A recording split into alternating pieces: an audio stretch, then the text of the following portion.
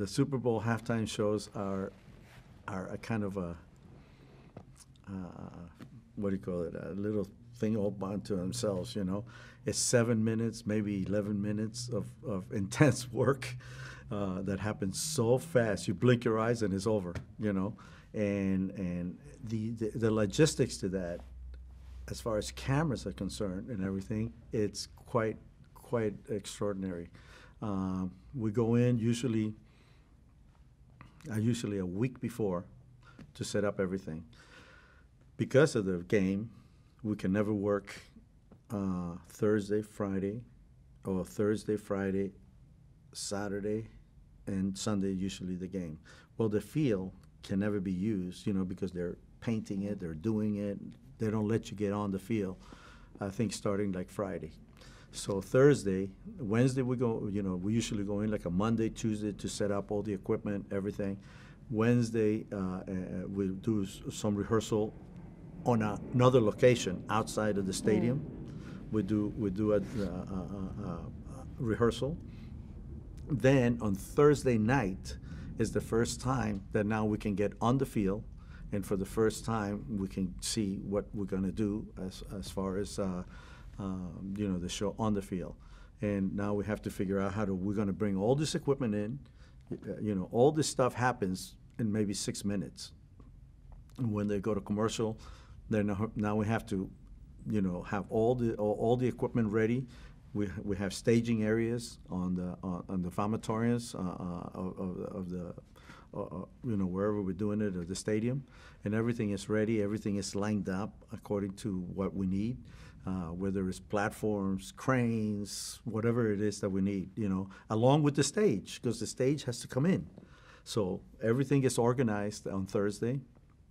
And then we do, you know, we, we put everything in, we do a rehearsal, then we take everything out, the way the stage managers and, and the field, the field managers are, are now telling you, okay, this has got to go here, this has got to go here. They figure it out, what goes first, what goes last. And the same thing with us, where the crane's going to go in, because they'll have, you know, jibs and, and, and cranes and whatever, whatever it is that we need to get uh, the wireless cameras, uh, the the the, uh, the steady cams and stuff. So everybody stage, uh, you know, on Thursday night. Then on Sunday, everything is staged while the game is going on, while the first half is going on. Everything is staged, waiting for the halftime. So now everybody's ready to go. When that halftime ends, they blow the whistle. The halftime ends. We go to commercial. They blow they blow a whistle, and it's pandemonium. I mean, it's unbelievable. I I wish people could see it because there's maybe three, four hundred people pushing uh, pushing uh, all the staging, all the you know you see all these huge stages, you know, and and you go, how did I get that uh, in there, you know, and stuff, and you you know have two or three hundred people getting in there, getting all the equipment, getting everything plugged in. Hopefully everything works, you know, and it's and then you go. You got six minutes to do this, and then boom, you're on the air, and then you're on the air for seven, 11 minutes, boom, and you're off, and then you got to get off. You got to do the reverse. So it's it's it's an intense, you know, 15 minutes there of of, of work. Do you remember any mishaps or anything that went wrong?